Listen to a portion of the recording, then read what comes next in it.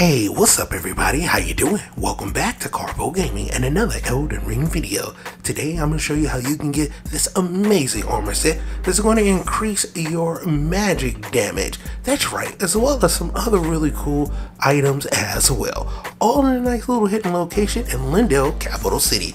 Once again, thanks for watching everybody. Without further ado, ladies and gentlemen, let's get started. How you can get this amazing armor set as well as a couple of other interesting items right out of the western rampart gates. Let's go. How to get there? From the very first steps, you need either cut through Stormveil Castle, take out a couple bosses, and then make your way into Liurnia Lakes. And then you're gonna come right over here where there's some steps that you can take down to the eastern riot gate.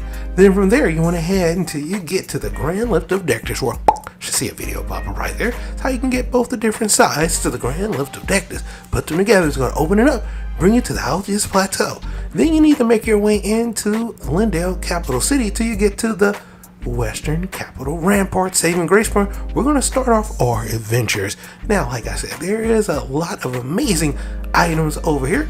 Today, we're headed to get this lovely armor set, as well as some other cool items over here as well. So let's make our way over to a, a second rendition of the round table. That's exactly what we are at right here in Leyndell Capital City. It's going to mirror the same Roundtable Hold that we have for ourselves. So here we are at said Roundtable Hold. I'm gonna go right up here and pick up this lovely smithing stone. Then we're gonna turn around and head to where our guy who strengthened our weapons is, because like I said, it's gonna mirror our Roundtable Hold. That's where he normally is. Right here is where, I forgot the lady name that gives us the hugs. We're gonna have a nice little items for us to pick up right there. Turn around where our guy who strengthens our sword. You got the nice wet blade. Head down here, another smithing stone as well. And now we're kind of like where the secret area is in our Roundtable Hold. Through the door is going to be a couple enemies. You can take those guys out if you like. Over here, nice little keep Two fingers prayer book, which is sweet. Make sure you turn that in if this is indeed your very first time. Walk back out here, and bam, there it is, the Alberich's set.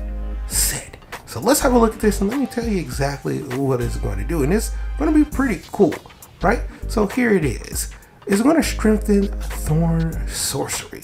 So any of your Thorn Sorceries that you have, well, it's definitely going to boost it. It's going to be for the helmet, for the robes, as well as the bracers. Now, when it comes to the leg pieces, they don't really have any effects, but the other three pieces too. So there you have it. That is how you're going to get this amazing Alberich set that's going to increase your Thorn magic damage, which is pretty freaking cool.